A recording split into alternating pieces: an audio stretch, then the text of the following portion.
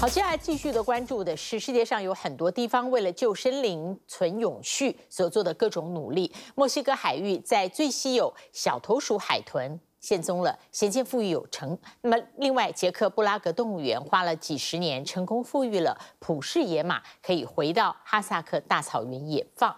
另外一方面呢，专家把一对白鲸从乌克兰的城市哈尔科夫送到西班牙水族馆。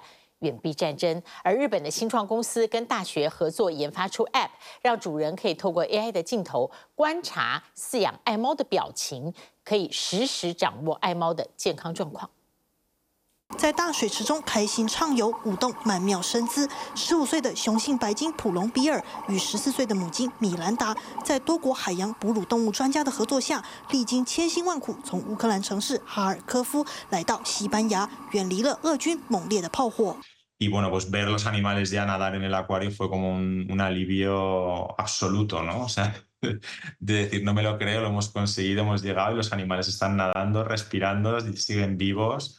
después de toda esta odisea, ¿no? 不止战争，人为破坏也同样使得海洋生物面临生存危机。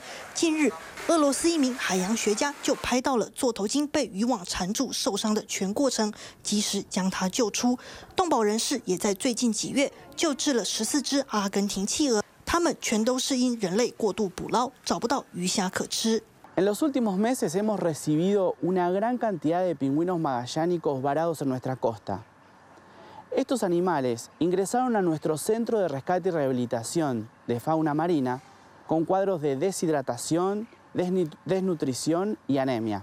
在墨西哥官方与非营利组织海洋守护者协会的呼吁下，九只濒危海洋哺乳动物小头鼠海豚最近终于再次现身莫国海域，给动保组织打了一剂强心针。And in the coming weeks, our partnership will deploy new technologies to help find the vaquita Bolstering our ability to defend the most endangered marine mammal on Earth. 因过度捕捞和水质恶化灭绝百年后，大西洋鲟鱼也终于在瑞典农业科学大学、哥德堡自然历史博物馆、瑞典钓鱼者协会和哥德堡大学科研人员的努力下，成功被复育。十八日也放回瑞典大海。It's a big mission. that they um, now um, travel to, to Sweden because it's a, it's a long transport. 二十三年前几乎已经绝迹，仅剩六十二头的西班牙大山猫设立，最近在西普两国动保人士的帮助下，也同样成功被复育，数量回升至两千头以上。They set up conservation breeding programs. They set up lots of work to try and improve the habitat of the species, improve the mosaics and agricultural landscapes that they live in. 历经数十年努力，捷克布拉格动物园成功复育濒危动物普氏野马。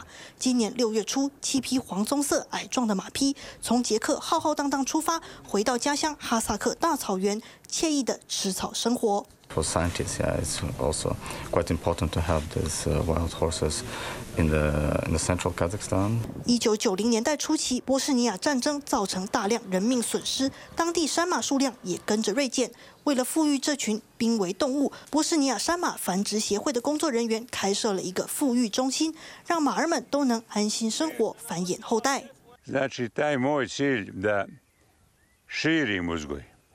da širim uzgoj. 为了保护亚马逊热带雨林的动植物，巴西总统鲁拉宣布将要投入三点一八亿雷亚尔重启亚马逊安全计划。Não tinha plano, teve o plano. Não tinha dinheiro, tem o dinheiro. Agora é o seguinte: tem plano, tem o dinheiro e tem jeito para executar. Agora é o seguinte: nada mais pode retardar. Forte para vocês, parabéns, porque nós vamos cobrar. 五月到六月中旬是鹿妈妈产子的季节，也是瑞士农民收割第一轮牧草的时节。因为刚出生的鹿宝宝总是躲在农田中，很容易被牧草收割机卷伤。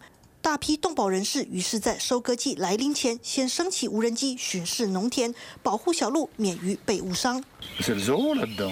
为了给动物更好的照护，最近日本一家新创公司也与大学合作研发出了一款 APP，让主人可以透过 AI 镜头分析猫咪脸部表情，以便及时监控爱猫的健康状况。自从 APP 上架后，已超过二十三万人下载使用，准确率超过百分之九十五。もう亡くなった猫なんだけど、あのキャッツミで写真判定をして、あやっぱりこの時この子は痛かったんだなって。ごめんなさい。 对很多人来说，猫狗早已是无可取代的伙伴或家人。美国西墨西哥州的贝尔在十九日爆发野火时，一边逃难，一边也不忘带上他的四只爱犬。但其中有一只狗狗因过于焦虑，无法跟着大家一起上车，贝尔只好忍痛把它留在家里。待火势扑灭后，他第一时间赶回家，确认狗狗平安无事，与他团聚。Tvb 新闻综合报道。想看最完整的新闻内容，记得下载 TVBS 新闻网 APP。